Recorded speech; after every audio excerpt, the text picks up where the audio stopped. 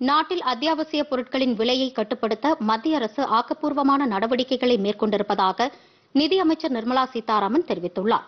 பெங்களூருவில் நேற்று செய்தியாளர்களுக்கு பேட்டியளித்த அவர் கொரோனா பெருந்தொற்று காலத்தில் ஏழை மக்களுக்கு ஏற்பட்டுள்ள சுமையை குறைக்க நிதி சீரமைப்பு திட்டங்களை அரசு அறிவித்துள்ளதாக கூறினார். பெட்ரோல் டீசலின் விலையை குறைப்பதற்கான வாய்ப்புகள் பற்றி குறிப்பிட்ட நிதியமைச்சர் சர்வதேச சந்தையில் கச்சா எண்ணெயின் விலை பேரல் ஒன்றிற்கு 75 டாலர் என்ற அளவை எட்டியிருப்பதாக குறிப்பிட்டார். இந்த விலை உயர்வு காரணமாகவே இந்தியாவிலும் பெட்ரோல் டீசல் விலை அதிகரிப்பதாக அவர் தெரிவித்தார்.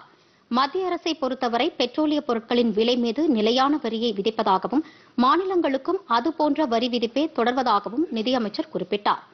மாநிலங்களுக்கான ஜிஎஸ்டி இழப்பீட்டுத் தொகையை வழங்குவது குறித்து தெளிவுபடுத்திய அமைச்சர் நிர்மலா சீதாராமன் கடந்த ஆண்டு மேற்கொள்ளப்பட்ட வழிமுறைகளின்படி மீண்டும் கடன் பெறுவதற்கான சூழலை உருவாக்கியிருப்பதாக பதிலளித்தார். ஜிஎஸ்டியில் குறிப்பிடத்தக்க தொகை மாநிலங்களுக்கு அளிக்கப்பட்டுள்ளதாகவும் வருவாய் வசூல் அதிகரிக்கும் போது மேலும் அதிக தொகையை மாநிலங்களுக்கு மத்திய அரசு வழங்கும் என்றும் அமைச்சர் தெரிவித்தார்.